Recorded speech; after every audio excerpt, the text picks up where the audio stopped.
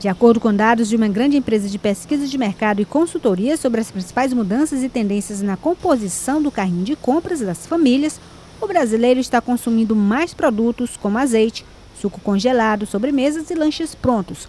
Por outro lado, está comprando menos itens. Em um supermercado de Caxias, a lavradora Leonice não consegue pôr no carrinho de compras o que gostaria. Vai, vai menos, né? Porque a situação que a gente está andando hoje, né? Tá tendo hoje, as coisas estão tá saindo mais caras e a gente está e ganhando pouco também, né? Aí tem que economizar mais um pouquinho para ver se sobe alguma coisa para a gente.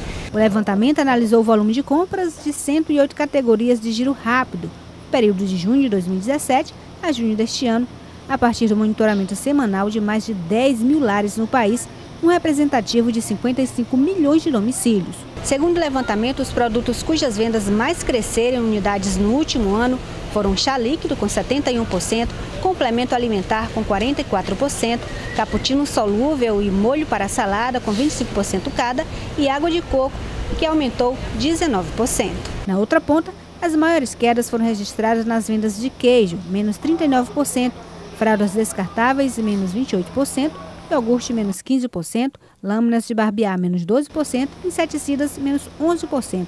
A Associação Brasileira de Supermercados, a Abras, projeta um crescimento de 2,53% no ano nas vendas nos supermercados em termos reais. Dentro de um cenário em que o consumidor continua com o bolso apertado, as escolhas ficam cada vez mais relevantes. O consumidor escolhe ou pelo custo ou pelo benefício. Eu vou mais pelo valor do produto. Por quê? Porque hoje em dia tá difícil demais, né? Pra gente viver assim, comprando coisa cara, tem que comprar barato mesmo, que compensa mais, né?